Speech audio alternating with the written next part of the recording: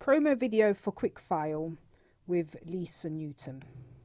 So a little bit about myself as your tutor for this course. My name is Lisa Newton. I have been a self-employed bookkeeper since 2003, a member of the AAT and the ICB, and I've been teaching software and how to keep books and accounts for most of that time.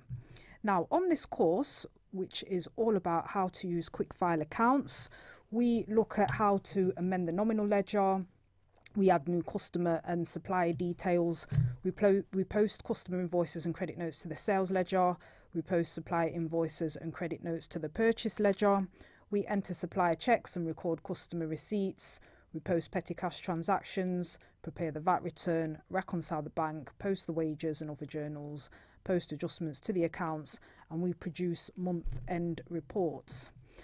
So ideally take this course if you're a bookkeeper or an accountant or if you want to get into bookkeeping or you're currently studying bookkeeping.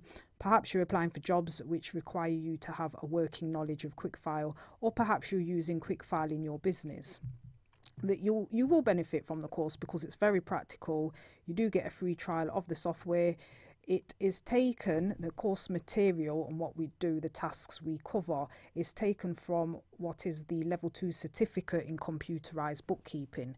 Therefore, if you are a sole practice bookkeeper or the only person responsible for doing the accounts, you will have practice of literally all the tasks that you would be expected to be able to do. So it's very practical, it's the things that you would have to use the software for in real life, and that is what we cover.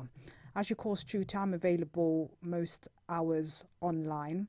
This is what the inside of Quickfile looks like. This is just the promo video. My name's Lisa Newton, and I do hope to see you on the course.